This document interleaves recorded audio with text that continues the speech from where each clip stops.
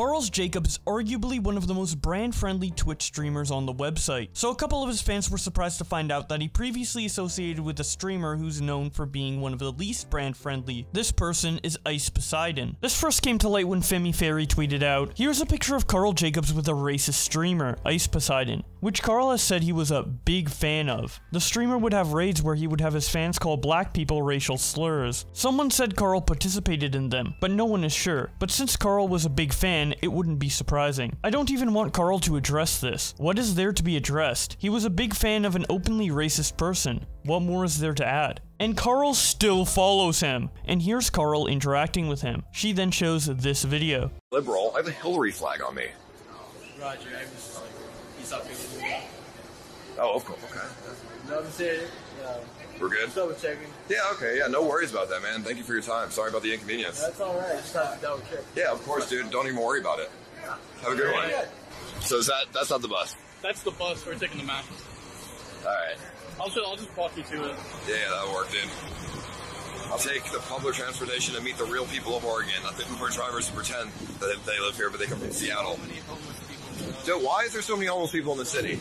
This place is beautiful, so it's whatever. You said it was like right here, you said? And do you see those like little? There, that's it. So we'll get the next one. Wait, why not this one?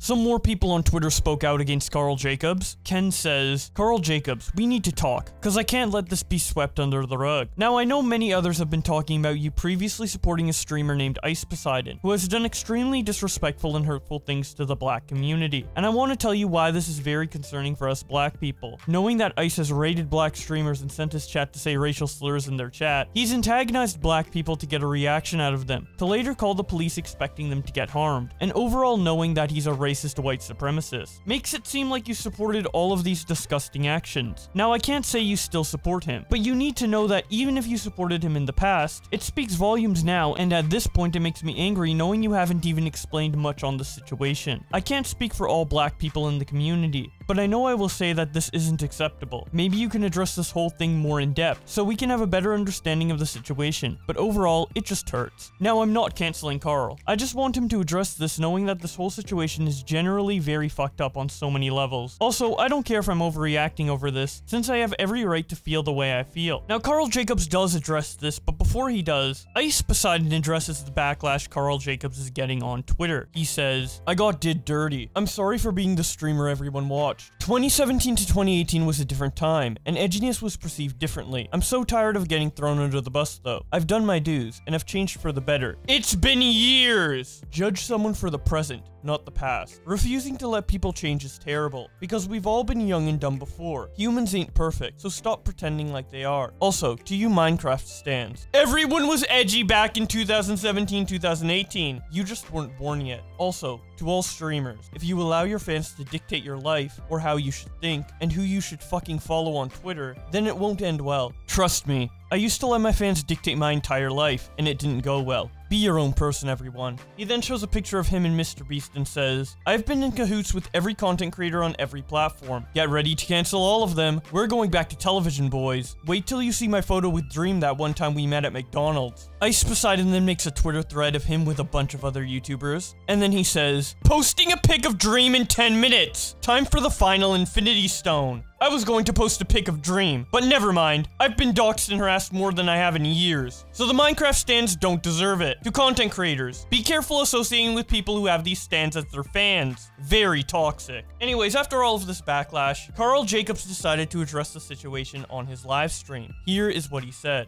So there's threads going out there that I'm I've associated with a streamer, a prominent streamer that is currently known for a lot of bad stuff like racism, any phobia you could think of. And I just want to make it clear, a million percent I don't condone anything they've done. I don't know, I'm sorry that I've made anybody feel uncomfortable because I understand that. You know, I, I went stream sniping and uh, I just wanted to address that and say like, I am sorry that I've upset people. I guess for context, I've always been a massive fan of Twitch, right? And I've always wanted to be a Twitch streamer. It's just been my passion. I was never a massive fan, but I I guess I did actively support bad content creators at one point, and I am sorry. I do want to address really quick. There, there's chat logs of me coming out saying that I have recently been in the streamer that they're talking about's chat, spamming like TriHard7, stuff like that. I just want to make it clear that I've never once used TriHard in a way where it was meant to be racist. Just for context, back in early Twitch, what we now know is like 07 is what people used to do as TriHard 7. It was kind of like a salute to when you joined a stream, and I know that there's racial connotations attached to it now. I just want to make it clear that I've never advocated for racism, anything like that. It's just not me, and I know I can just say that, but I promise I'll like make that clear if that makes sense. And again, I'm not making any excuses. I know that I made people uncomfortable and I am genuinely sorry. I'm not making excuses. I'm just trying to give context, okay? And one more thing I wanted to give context for. There's a clip going around uh, discussing anti-Semitism, which is something I'm very not okay with. I know that there was a Jackbox joke that went around a, long time ago. Genuinely, the second it came out, I was genuinely sorry about that. But I want to talk about a clip that came out recently on Mizkif's stream where I said that I was spamming CX in his chat. I said probably because somebody in a video game had a big nose, and I think people associated that with anti-Semitism. But in in reality, um, in early Twitch, the meme was like Ice Poseidon has a big nose, so people just made fun of him for having a big nose. It wasn't coming towards anti-Semitism, if that makes sense, or anything racially charged at all. Yeah, Ice Poseidon's not Jewish or anything like that. It wasn't meant to be anything like that. Yeah, I guess at the end, at the end of the day, I, I am sorry if I offended anybody because I promise it wasn't my intention. I not just sorry if I offended anybody. I am just sorry, right? After Karl Jacobs does his apology stream, Keemstar reacts to it on Twitter in this video titled, Defending Ice Poseidon and Calling Out Karl Jacobs. Do you know Karl from the Mr. Beast videos? Well, Karl has went off to make his own career and he's been wildly successful. Millions and millions of fans. And yesterday, Karl got canceled by his own community. They were basically saying that Karl is a racist because he supported a racist. He su supported someone that was homophobic. Who are we talking about? Who did Karl support? Ice Poseidon.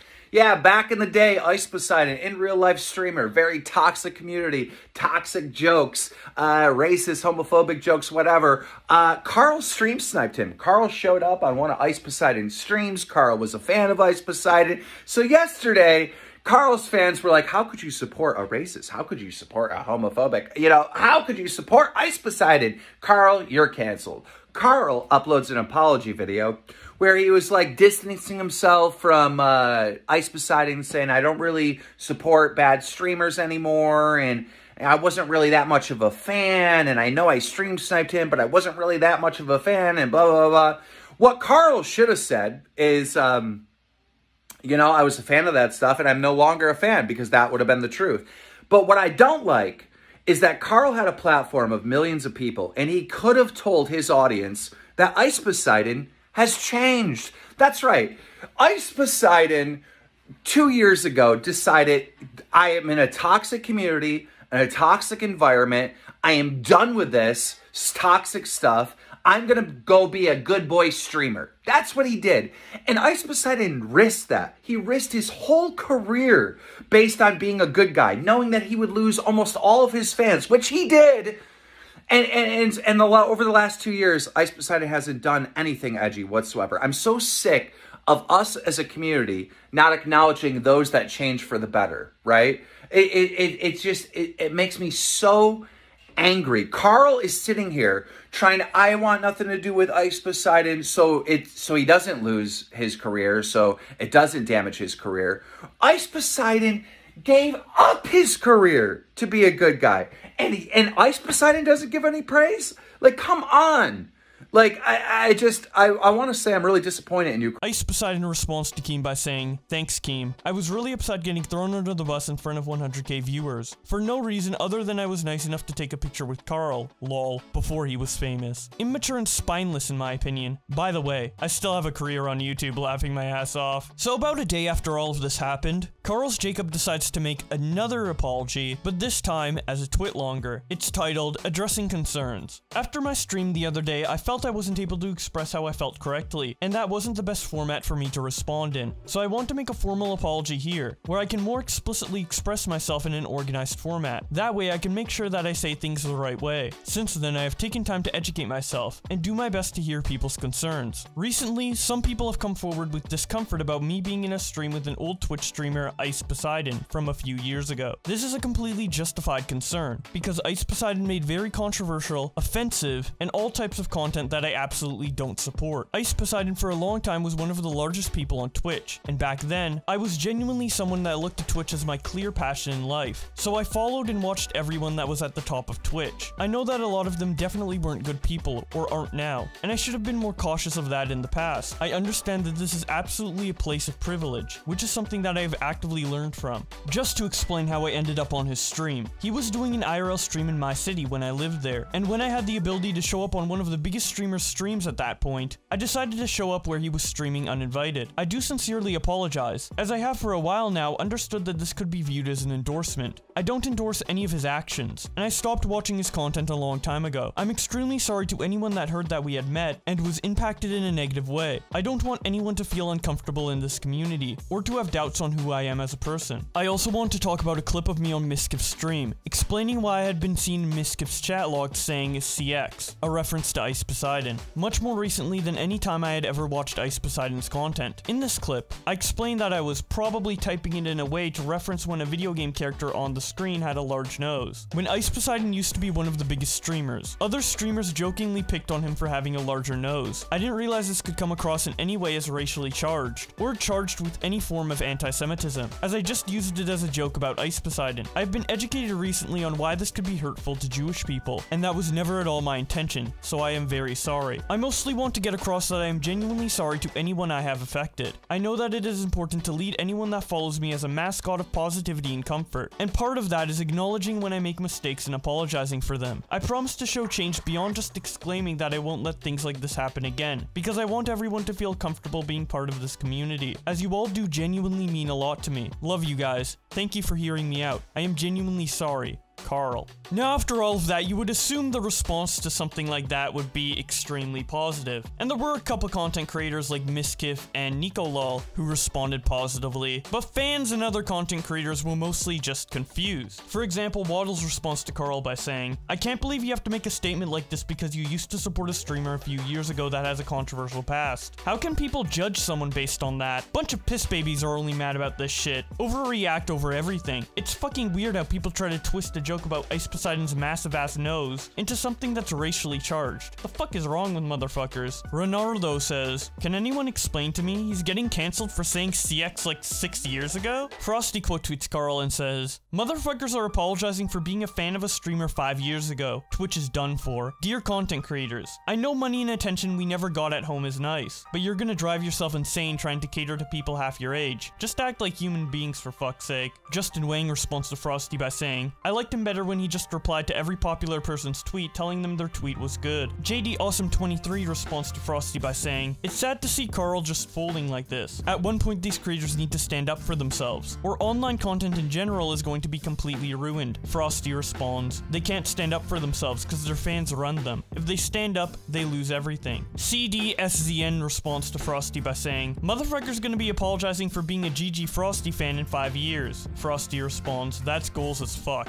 Jake Lucky responds to Frosty by saying, Really confused why it happened in the first place. Are some of his stands that concerned that Karl is somehow a bad person for this? Frosty responds, Yes. He is racist, homophobic, sexist, and xenophobic because he used to watch Ice Poseidon when he was 16. Speaking of Jake Lucky, he makes a tweet of his own about this that says, The Karl's Jacobs fans, who somehow got the kid to apologize for being a fan of a Twitch streamer, who then eventually became controversial, are the real problem with this community. Tropical 1K responds by saying, Sorry Jake, but you cheated on a math test in 5th grade. For this action, you will be blacklisted from esports reporting, and barred from entering any future event. Jake Lucky responds, How the fuck you know I did that? They gonna take away my grade school degree, man. Ice Poseidon responds to Jake by saying, Karl sniped me peak VR2, lol. What do you mean, Jake? Jake responds, Gonna be honest, I don't know about all your controversies, but I do agree Karl apologizing like this makes you look worse. Can't imagine all of his fans that are also going after you. Messy freaking situation all around. It's just weird to watch. Ice responds, Of course it makes me look worse. That was the entire point, Jake. He sniped me when my content was peak toxicity, then put all the blame on me when he condoned it, along with everyone else in the streaming world too. I'm not this evil villain, and I'm tired of it. I'm a person too. Ice then elaborates by making some tweets of his own that say, So, Karl is causing a witch hunt against me in front of millions of people because he hung out with me on a YouTube stream when he was a fan. Yet I'm still banned on Twitch. Lol. I can't believe he doubled down on this. Karl,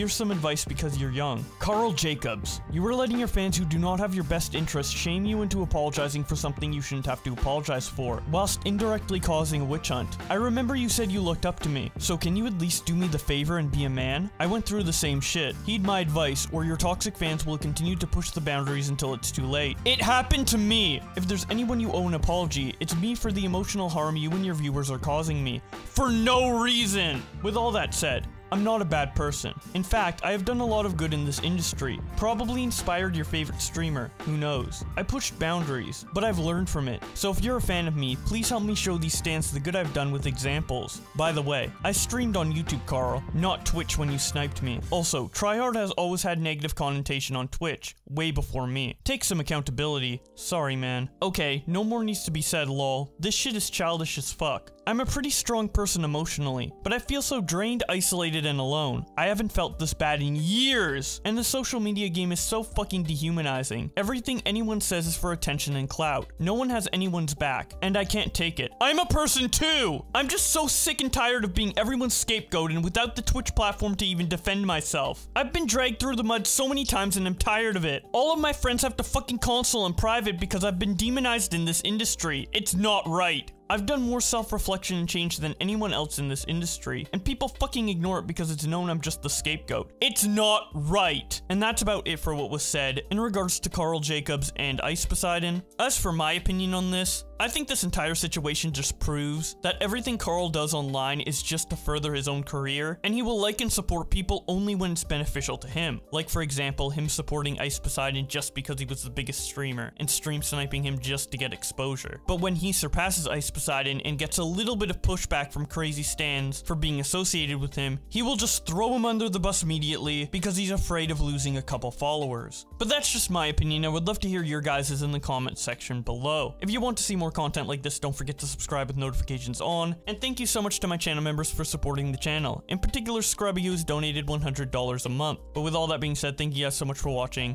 and I will see you in another video.